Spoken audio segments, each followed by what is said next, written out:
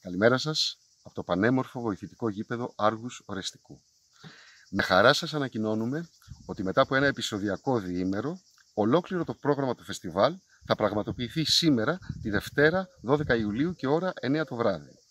Το πρόγραμμα περιλαμβάνει το πρώτο μέρος, που είναι ταινίες κινουμένων σχεδίων για παιδιά από 4 έως 10 και το διαδραστικό μας παιχνίδι, και το δεύτερο μέρος, που είναι ταινίες κινουμένων σχεδίων, μυθοπλασίας και ντοκιμαντέρ για παιδιά και εφήβους από 11 χρονών και πάνω, όπως και για όλη την οικογένεια.